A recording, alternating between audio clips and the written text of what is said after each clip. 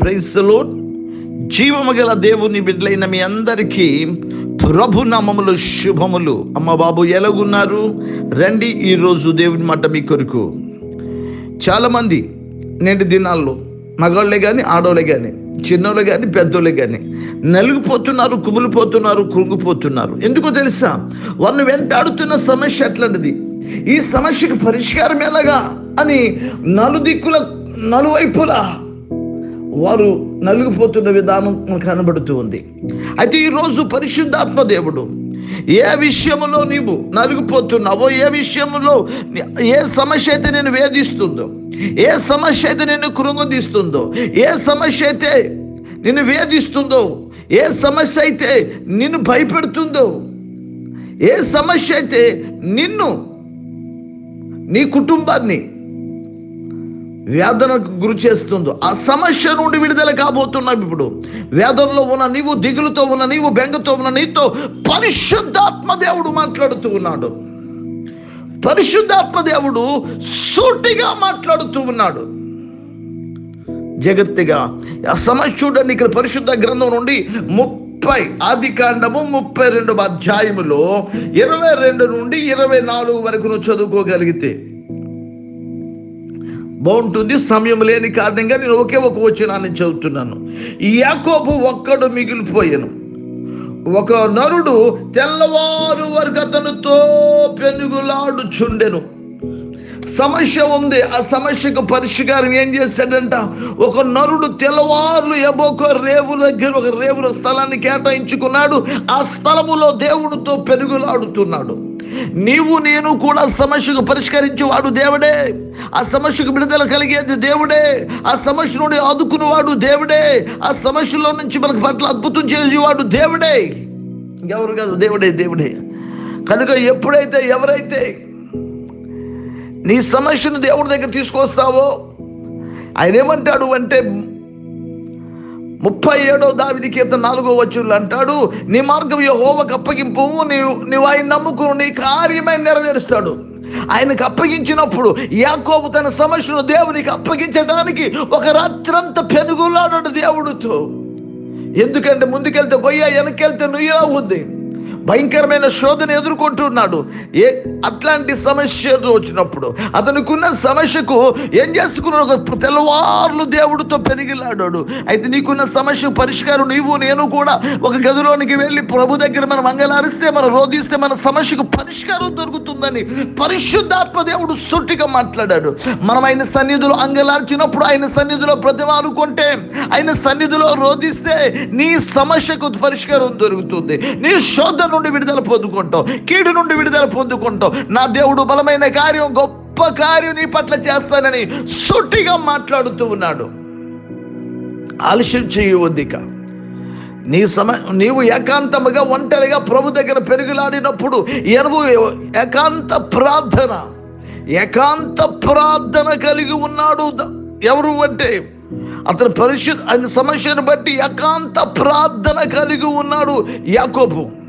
రాత్రంతా ఏకాంతముగా గడుపుతున్నాడు. ఆయన సమస్య తెల్లవారేసరికి మొబ్బు విడిపోయినట్లు విడిపోయింది. ఎవరైతే అలా ప్రార్థన చేస్తారో ఎవరైతే అలా సిద్ధపడతారో ఎట్లాంటి సమస్య అన్న కానీ నీకున్న సమస్య అది పర్వతంగా ఉన్న కానీ మైను వల్లే కరిగిపోతుంది అది. అది మంచు వల్లే కరిగిపోతుంది. హిమంలా కరిగిపోతుంది. ఏ కొండంత సమస్య. నువ్వు దేవుడి దగ్గరకు వచ్చి నువ్వు పెనుగులాడితే అది హిమంలా కరిగిపోతుందని ప్రభువారు మాట్లాడుతున్నారు. నీకున్న సమస్య కారు మేఘం అవ్వచ్చు. అది తెల్లవారు చెప్పుకి మబ్బు విడిపోయినట్లుగా విడిపోతుంది.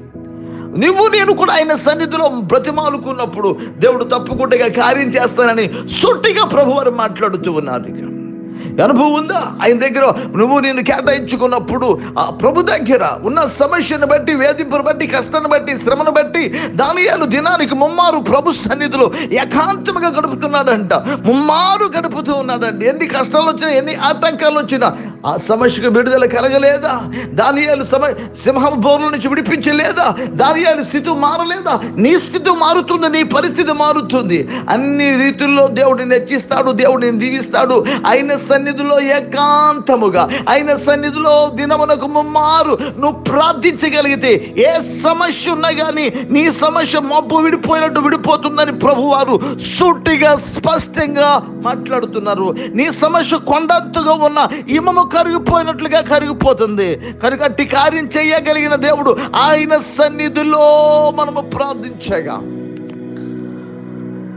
అన్న జీవితం ఉన్న అన్నకి మోడు బారిపోయిన అనుభవం ఉంది. ఆమెకున్న సమస్య సులహో ప్రార్థన మందిరానికి వచ్చి ప్రార్థన చేసుకోలేదా? అయ్యో ఆమెకున్న సమస్య పరిష్కారం కాలేదు. పటాపంచులైపోయింది. నీ సమస్య పటాపంచులు కాబోతుంది. ఎప్పుడో తెలుసా? ఎప్పుడో తెలుసా? ఆయన సన్నిధిలో బ్రతిమాలుకుంటే అది ఆయన సన్నిధిలో అంగలాదిస్తే ఆయన సన్నిధిలో రోధిస్తే నీకు నీ పట్ల దేవుడు గొప్ప కార్యం చేస్తానని సూటిగా స్పష్టంగా మాట్లాడుతున్నారు. ఎంత ధైర్యం వివరిస్తారు ఇక్కడ ఇంత ఈ సమస్యకు పరిష్కారం ఎక్కడ మనకు విడుదలంటే ఆయన సన్నిధి ఆయన సన్నిధి ఆయన సన్నిధి.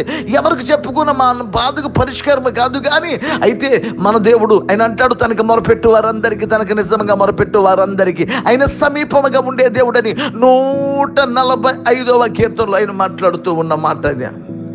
కనుక నువ్వు నీ సమీపాన్ని ఉంటాడు ఆయన. నీ పాదాల దగ్గర ఉంటాడు. నీతోటే ఉంటాడు ఆయన. నువ్వు ఆయన పాద నువ్వు ఆయన పాదాలు పట్టుకుంటుంటే ఆయన నీ నీ వెంటనే నీ సమస్యకు పరిష్కారం దొరుకుతుందని నూట నలభై ఐదు పద్దెనిమిదిలో ఆయన మాట్లాడుతూ ఉన్నాడు. కనుక తప్పకుండా గొప్ప కార్యం జరుగుతుంది. నేను విడిపిస్తాడు నేను ఆదుకుంటాడు ఇప్పట్లో పట్ల అద్భుతం చేస్తాడు.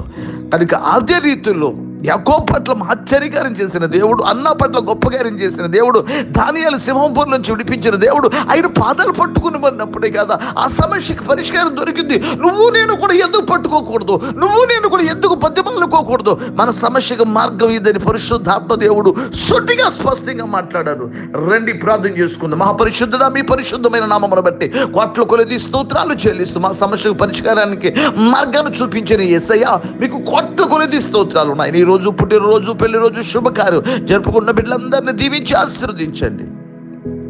అయ్యా పరిశుద్ధ పట్టణం ఎరుశ్రమ చుట్టూ కంచి వేయండి. మణిపూర్ రాష్ట్రాన్ని కాపాడండి మణిపూర్ రాష్ట్రాన్ని కాపాడండి మణిపూర్ రాష్ట్రాన్ని కాపాడండి ప్రభా. అయ్యా నీ కౌగిలో భద్రపరుస్తాను నీ నామములో ప్రార్థించి వేడుకొనుచు ఉన్నాను. ప్రియపరలోకపు తండ్రి ఆమె ఇంట్లో పాస్ జోసఫ్ పెట్టలేమారు అమ్మ బాబు దయచేసి షేర్ చేయండి లైక్ చేయండి సబ్స్క్రైబ్ కానీ సబ్స్క్రైబ్ అవ్వాలని ప్రేమతో మనం చేసుకుంటూ ఉన్నాను. God bless you all.